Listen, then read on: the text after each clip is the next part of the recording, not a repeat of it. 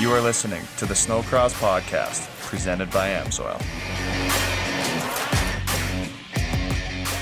What's up? It's Haley Shanley and Matt Skubik. It's Wednesday. You know what that means nothing. It means nothing. And nothing is exactly what you'll pay in shipping at amsoil.com when you spend $50 or more and enter promo code FREESHIP SNOX at checkout. That's free ship S N O X at checkout. That offer is good through the end of the month. Without further ado, we are getting down to biz. Matt, the votes are in. The people have spoken. Who are our fan favorites? So coming in third, getting 17% of the votes, is your pro class rookie, Cole Katu. Cole Katu. Yep, good for him, huh? No huge surprise there, considering he is so good with fans. He's a professional fun haver, but nonetheless, it's exciting to see a newcomer on the pro scene be a top contender for fan favorite. Yep, and coming in second with 19% of the votes is the two time reigning champion, Elias Ishoel. And he won it last year, coming in second this year. He's doing pretty well. Mm, that's for sure. And our winner, who is actually joining us today on this podcast from Team LaVallee, Kyle Pavelka.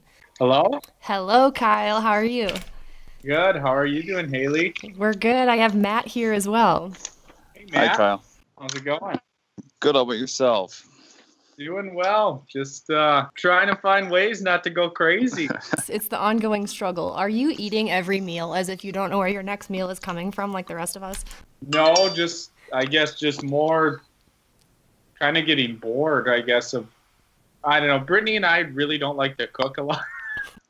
like normally we go out to eat probably probably like once or twice over the weekend, and and so that's been kind of different. I guess now now it's our tradition has been from going out to, to doing takeout. So Right on. Is it is it kind of feel like an outing, like a date? It's exciting to load up in the vehicle and just go get takeout. Like it's an excuse to get out of the house. absolutely, I was I was just talking to one of my best friends, and he was like, "Yeah, I don't think I've worn jeans in six weeks." And, and I said, I said the other day we went and got takeout, and I said I put jeans on just to go in, in the for the car ride. Get takeout. I said, I said it felt like I was going somewhere or doing something. yeah, so lots of outdoor time, which has been good. Mountain bike, run, um, or just bike on the roads too. Um, but here it's um, we almost got all of our snow gone finally here. Um, but it's still like there's there's still snow in the woods and spots, and um, so the ground is still, I would imagine, frozen. Um, so yeah, I, the biking's pretty. As far as mountain biking goes, it's really non-existent here, um, unless I travel south somewhere. Nice. I saw you were out catching some rays and sunning the whites on the sandy shores of Ironwood just a couple days ago. Did you get any sweet tan lines? Yeah so again yeah finding things to do. But um, yeah that was just one of the one of the days we were outside but yeah i don't know. Recently been doing um, i guess kind of a lot of running and uh, running and and taking uh taking our dog for lots of walks and car rides and stuff. Yeah, there's not a whole lot going on up in the UP up there. No, like you know, fortunately, you know, it it's. I think we've had four cases in our county, like, and I don't even know if there's any active right now. I haven't heard about it in probably a couple weeks, but, um, so it's kind of weird. Like, we're really sheltered from any anywhere that it's like really affected. Mhm. Um, so it's kind of weird because it it could seem like it could seem like why are we why are we like staying in our houses and stuff because it doesn't feel super real in some ways um, but uh, but no i i think we're really lucky that we're kind of sheltered and that it's quiet up here just because you know we've been fortunate that it hasn't um, hasn't over. yeah it hasn't gotten like super bad here Let's get down to business, Kyle. You are once again the fan favorite. Can you tell us how it feels? it was awesome. I I um I was out walking on the ski hill yesterday morning, and Brittany called me and said, "Hey, guess what? I got some good news for you." And um, I was I was so pumped. It's been a while. You know, I've I've been fortunate enough to win it in the past, but I think it's been like four years or so, and um, and so yeah, it was just it kind of came to me as a surprise, and I wasn't sure. You know, the season got cut short, and it was just a it was a weird year. So it uh, it was definitely a really cool surprise, like considering you know everything that that happened this year with our season ending early and um, with not getting a race in Grand Rapids and Lake Geneva. So um, I was pumped. Yeah, it's awesome, man. And to have the season cut short when it did in Michigan, how much of a bummer was that? I was honestly, I, I got to see the track and I was so excited to ride that track. That was probably the biggest bummer was just that track looks so gnarly and it looked like they put so much work into it and and uh, I I never got to count for myself, but somebody told me there was like thirty some whoops on it. and I was just like, oh my gosh, it's gonna be wild out there. And uh, yeah, I sure hope that we get to go back next year. Um, because it looked like that was going to be just an awesome race course. So that uh, that looked like a lot of fun. That was that was the biggest bummer for sure for me about that weekend. Now, why do you think you've been like so successful in winning fan favorite awards? Do you think you're relatable to a lot of like snowcross fans, or what do you what do you relate the success to? Um, I would say, you know, first of all, like when I first joined Team LaVallee, um, you know, Levi was a lot more. Um, I would say he was a lot around a lot more because he was still racing and he was just such a good role model for myself. Like he was always, you know, always stressed about you know spending time with the fans and just being available and positive and having fun and and um, so he really helped. He really did help groom me, you know, just to to be a good role model for the sport. And um, and now like I just turned 29 and I think this will be this will be gosh I lost track but I think coming up next year like my 18th or 19th year of racing. And as I get a little bit older and I've been in the sport for a little longer like I just really have come to cherish and enjoy like the different experiences that I get to have with the fans and with the people and I try to make a point to be to be present I guess for lack of better terms just to just to be present and not distracted when I'm visiting with the fans cuz because it is really cool. It's a really cool and unique experience the fact that you know there's people that'll take take time out of their weekends to come watch us race and um, when you just stop for a second and think about it, that's a really cool thing. And um, so I just try to constantly remind myself of that, how fortunate we are to get to go out there, do something that we love to do, and perform, you know, for for all these fans. And so I just feel like one of the the easiest and littlest things that I can do is when I'm there at the races with them is like for me to give them my 100% attention and focus and just yeah and just enjoy that experience with them and and um, I so I don't know if that's it, but I guess that's kind of that's how I look at it. I guess. no, and that's great. You know, there's there's a lot of unfortunately people in not I'm not saying our sport, but a lot of sports where you know the people are get bad names because they don't want take time to, with their fans or whatever the case may be and like that's great that you do because realistically if we didn't have any fans at these events, we wouldn't be able to go racing. Exactly. Exactly. Yeah. Like if we if we didn't have anybody to put on a show for, well then there wouldn't be any point to put on the show. yeah. Exactly.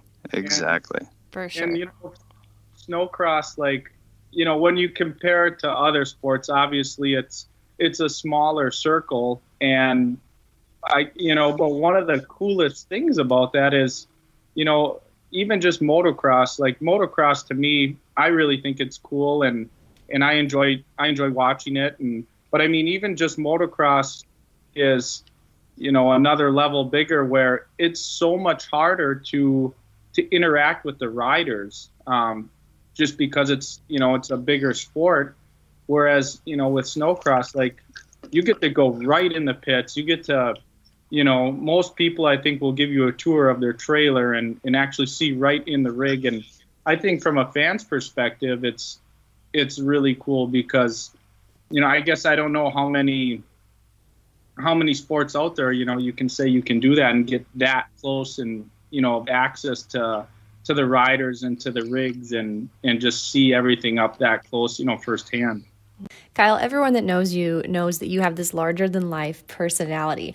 And I think even those that don't know you see that on camera, this personality of yours. Did it always seamlessly translate to on camera, your personality? Or early on in your career, did you have to learn to turn it on because perhaps you were a bit camera shy?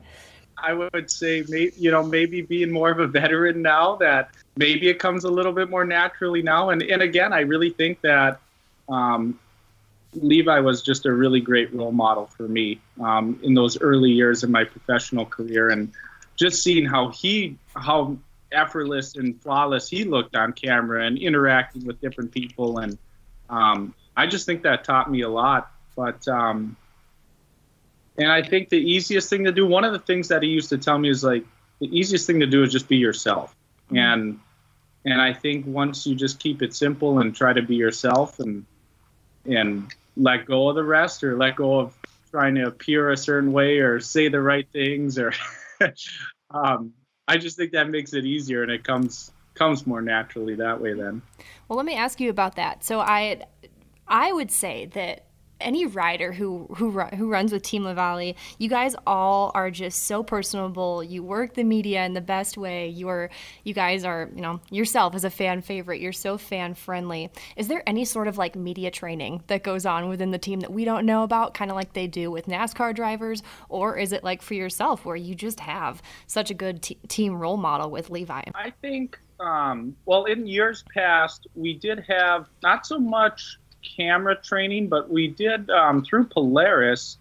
Um, we had a few years where we did some social media training.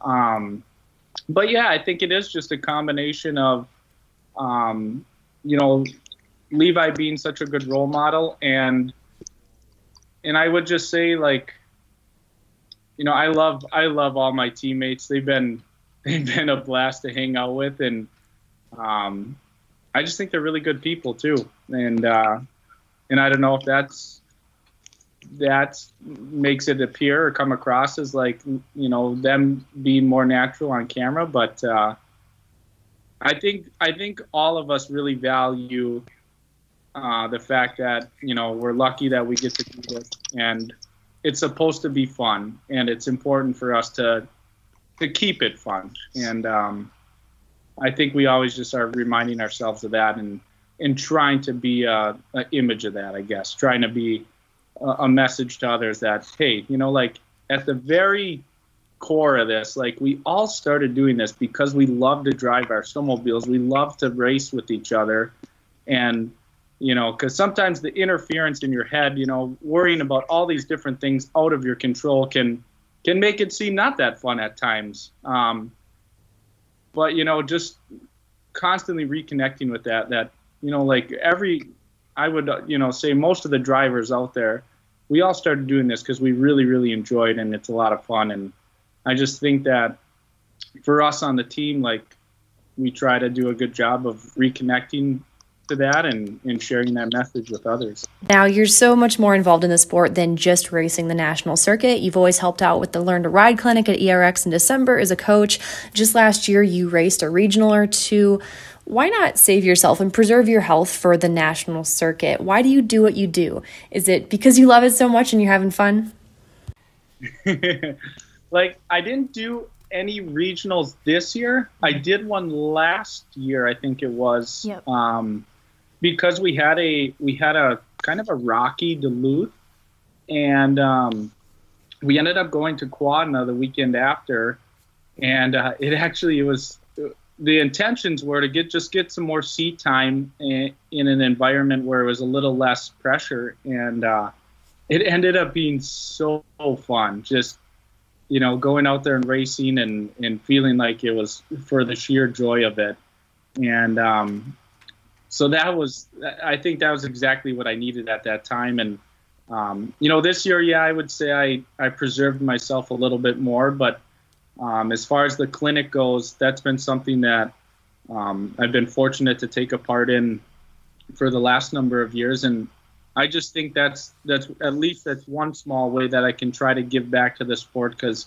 I know when I started racing at 12, um, gosh, it was just so cool whenever I got to talk to any of the professional drivers at that time or just just get an autograph from them. So like, I, I guess I don't know if it's the same for the kids now. Um, I would think I would think you know part part of it is the same. I just I remember like it was my dream, you know, at 12 years old, just thinking like, gosh, how amazing would that be to be a professional someday, and just and anytime I got to talk with those guys, so I just want to, um, yeah, I want to try to give back and try to try to be, you know, a good role model for those kids, I guess. So you know, talking about kids here, I have a quick question for you. Like, what kind of advice would you give to a kid, you know, who is kind of struggling with the sport, kind of maybe running sport light, maybe a junior class, and he wants to jump up to sport and like you said, he wants to get to the pro class. What would you say to him? Like, what would you say to help him maybe be a better role model for other kids or whatever the case may be? How can these kids grow and continue to stay involved within the sport? I would say looking back on my career, um, you know, it really depends on where you're at in your career. And I think that once you get to, say, maybe like the pro light or pro level, it's less about quantity of time on the sled. Like, obviously, practicing a lot is is a good thing, but I think it comes down to more of quality and really fine tuning your skills. But I think for like a junior rider, sport light rider, the kids that are still developing their skills, um, I know for me, I just rode all the time. And we were really, really lucky where we had a track um, like a quarter of a mile from my house. And I would get out, I'd get out of school and I'd go to the track and I'd get, you know, 45 minutes to an hour of riding in before it got dark. And my dad always said, that's 45 more minutes or an hour more than somebody else got. And I think I think when you're younger, I think that quantity trumps quality a little bit, and I just think seat time is so key in it. And I don't necessarily think because I, I understand it's hard for you know it's hard for a lot of people. They might not live right near a track and um, to you know to load up every single day, and get over to ERX or uh, to one of these practice tracks. But I think just time on the sled is really key time on the sled and just, especially when you're young, staying connected to the fun of it um, and keeping it fun. Mm-hmm. And I think those are two of the things that really helped me, I guess, come up through the ranks. Mm-hmm. You are a guy that likes to have fun, that is for sure. You even have your own holiday. KP Day. you had the, the second annual KP Day at ERX. For those who don't know, can you describe what KP Day is? KP Day started um, it was something that I wanted to do for a couple years, and I thought, how cool would it be just to have full control of the track layout at ERX and um, and just build whatever you want. And so finally, last year, I got a few guys together and and uh, they were on board to do it, and we just built some really cool jumps and and ERX was cool enough to really let us have some freedom with jumping over the road and and these different things. And um, I wasn't sure if KP Day was was going to happen again this year or not, but um, Chris Olin from from Rock Speed, he stepped in. He's like, "Hey, like that was really cool. Like I want to be I want to be a supporter of this." And so Rock stepped up and and helped us out uh, with the second annual KP Day and I don't know. I don't know if we built the jumps too big, but I remember I remember the first year being less scary.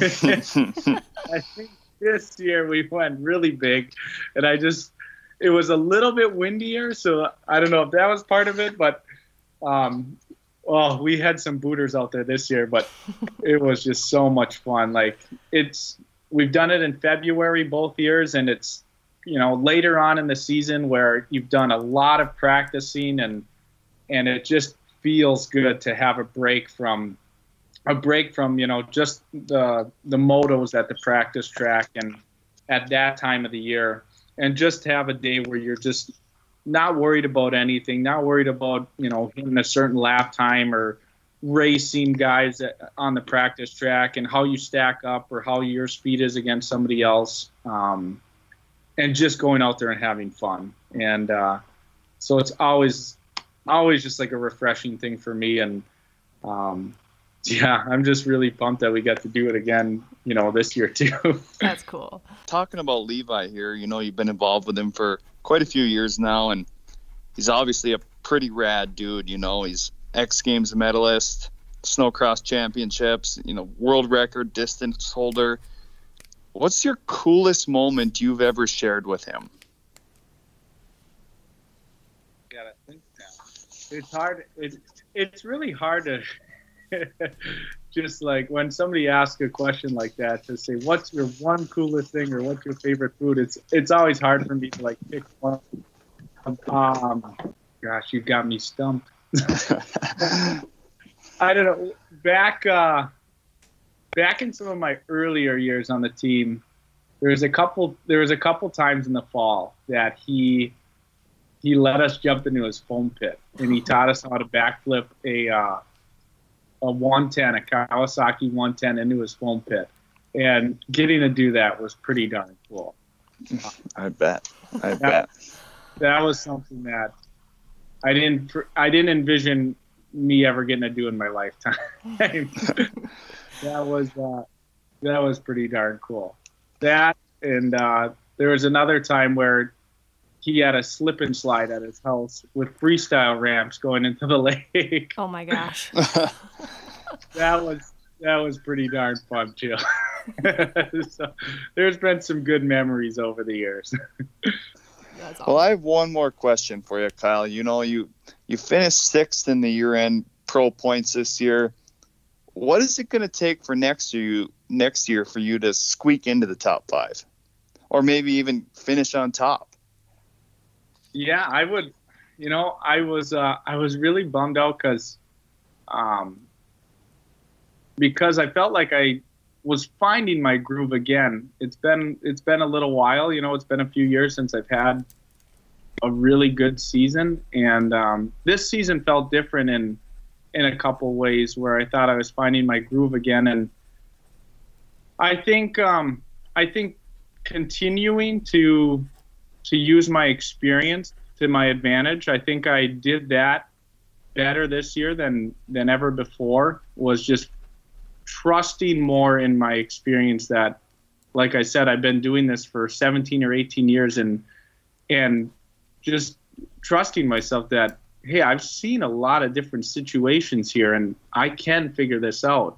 Um, because I I would imagine it's the same for other drivers too but it is very hard to go into a race and have everything figured out exactly or you know have that course figured out exactly how you want to run it um, you know 100% like there'll be certain sections where you're like okay i want to execute this section in this way but then there's other sections where you're like i'm not really sure the best line through there and in the past i think that i would second guess myself a little bit and just be like, "Ooh, how am I going to figure that out?" Or, um, or, or I guess the better question is, will I be able to figure that out quick enough?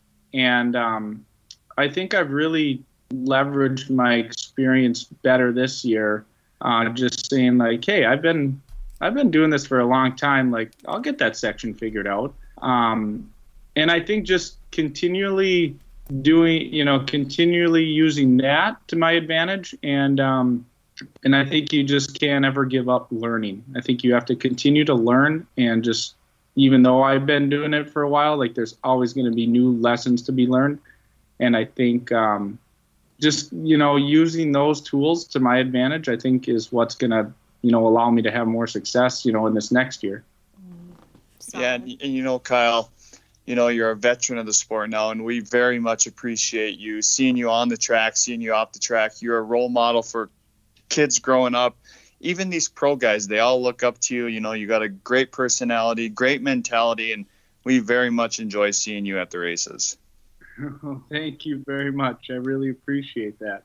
It's um, it's a blast being there, and uh, I'm really fortunate that I get to do it. And um, yeah, I just uh, it's a blast. Well, well, thank you again for joining us today, and congratulations once again on being our fan favorite 2019 2020. Thank you very much. We'll have fun this off season. We will see you in November. All right, sounds good. I cannot wait. All right, see you, Kyle. Bye, Kyle. Take care. We hope you enjoyed that chat with Kyle Pavelka. Once again, you can head over to amsoil.com. When you put $50 or more worth of product in your cart, you'll get free shipping when you enter promo code free FREESHIP SNOX at checkout. That's all for today. We'll see you next Wednesday at 6 p.m. Central for the next Snocross podcast presented by Amsoil. You are listening to the Snocross Podcast, presented by Amsoil.